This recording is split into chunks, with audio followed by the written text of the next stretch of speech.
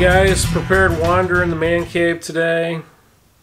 Well, it's stinking hot and raining again in Ohio, and I just cannot seem to find time to get outside to do what I want to do. So I'm going to shoot another video inside. I apologize. I cannot wait for summer to be over with and fall to get here.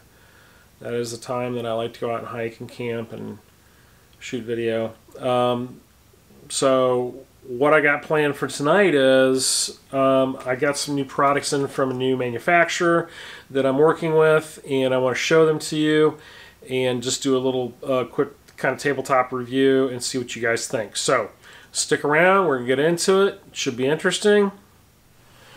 All right, here it is, as promised.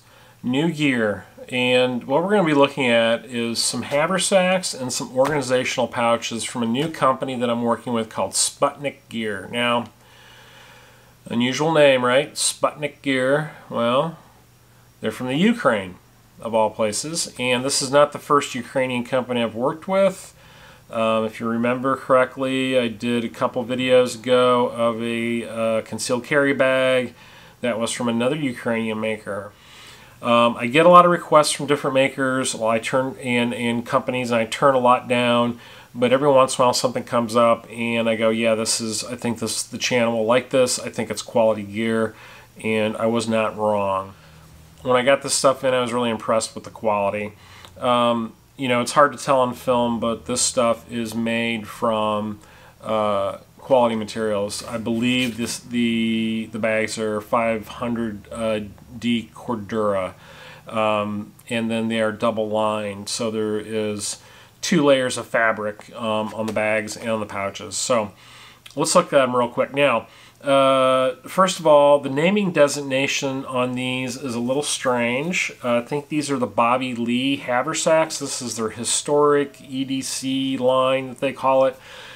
Um, they're kind of based off of Civil War haversacks.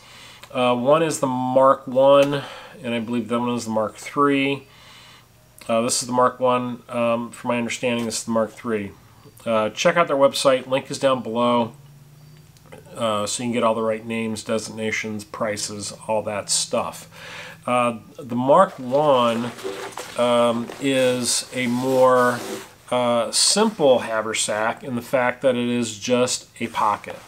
So you open it up, nice brightly colored interior, you can see there.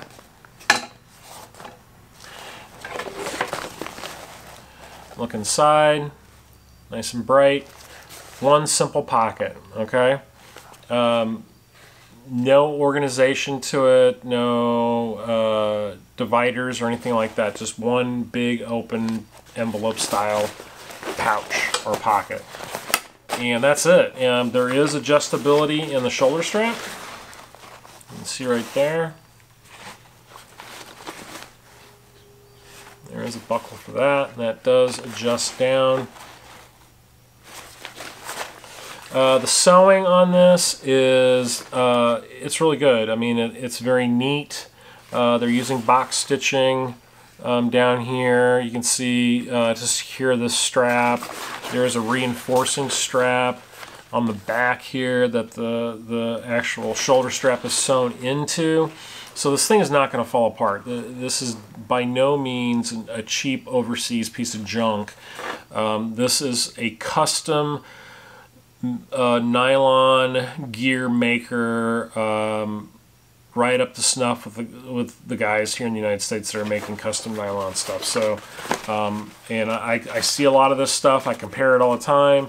So I can I say say with this with confidence, this is quality made.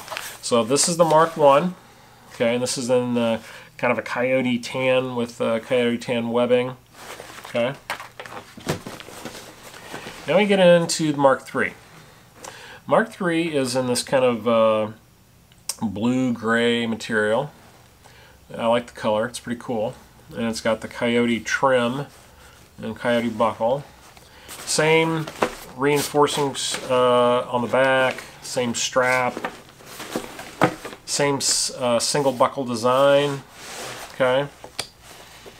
But that's kind of where it ends, because when you get into this thing, it is it has a lot more organization, and as you can see, there is a zipper that actually closes off the whole pouch. So not only do you have a flap, but you have a zipper as well. Okay, so we've got this uh, zipper pouch in the back that runs the entire depth and width of the, the haversack itself, okay? See that? In here I've just got a bandana, small grill, plenty of room for larger items. Definitely enough room if you're doing EDC and you want to do like maybe an iPad or something like that. That'll fit back in there. Small notebook, whatever.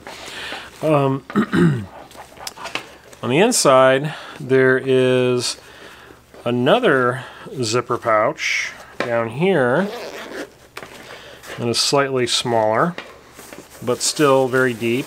Got a small tarp in there. And then the main compartment has, and this is going to be kind of hard to show you guys because we can't really get inside this bag easily to show it. Let me see if it, there are slip pockets. There's one, two, and then on the front of the bag, three, four. So you have four slip pockets on the inside, okay? One, two, three, four. That makes sense. Now, the deal with this kind of bag uh, is that since it is an envelope style, um, you're not going to get as much stuff in it as you would, let's say, um, a thicker or wider, you know, haversack. Um, so if you're going to use this in the traditional sense of a haversack for out bushcrafting, you're definitely going to have to uh, pare down what you bring um, and really be cognizant of what you're doing with this thing because it's going to be easy to overload it. Um, and it's not going to fit, obviously, big water bottles. So just as just as a size comparison, here's an Nalgene, pretty standard water bottle that most people carry. I have a lot of them, I use them. Fits in pretty well because it's short. Now, if you get into a more like a 32 ounce Nalgene, the round kind, it's not going to fit as well. It's going to be bulky. It's it's going to be hard to pack stuff. Probably where this thing would excel is if you had your water bottle kit on a different and in like a different kit or bag and carry that separately. What I think this would be good for is um, and particularly this model, is this would be a great pack to fold up, roll up, and throw this in a larger bag um, so that when you get to camp you can pull this out and deploy it and then use it for a walkabout in the woods and collecting materials or whatever. And um, using those organizational pouches that they make throwing your, your different kits in there. So this would be good for that. This bag, I think, um, really probably is more suited towards urban EDC than bushcrafting. You do both. I mean, it's just how you pat what what you like to take. I tend to take a lot of stuff.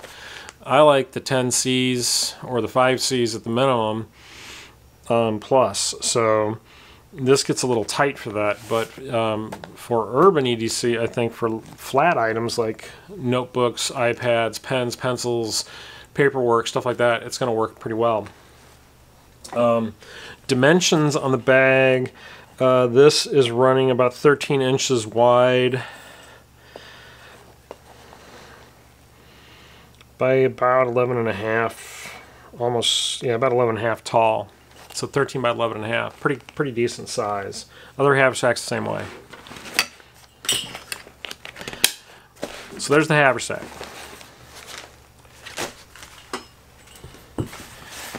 Pouches. they they sent me uh, several. Um, we've got uh, this uh, blue gray color, and then we have the coyote color. There's basically um, three sizes. There is a small, see that, medium, and then a larger one. Um, dimensions on these, the large is nine and a half by six and a half. Medium is eight by five. And then the small is a five by four. So nice, nicely made pouches, just like the Haversack, really made well. Uh, they have these really cool 550 cord pull or grab handles. I, I love that. Uh, nice lightweight feature, doesn't take up a lot of room, not bulky. The tan pouches are a single um, layer of material, so they're a little bit lighter. But the these blue pouches are actually double material. So they've got the blue-gray on the outside and then the tan on the inside. I don't know if there's a price difference on that. I assume there would be. I'm not sure why they do that, but um, so they are different. So when you're looking at the website and if you're going to order something, you want to make sure you order the ones that you want.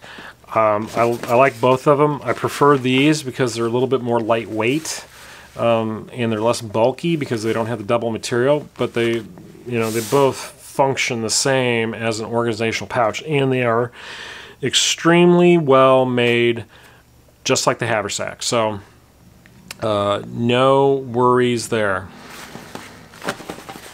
Now, as far as what you can fit into these things, um, you know, I've got, right now I've got like a little first aid kit in this one.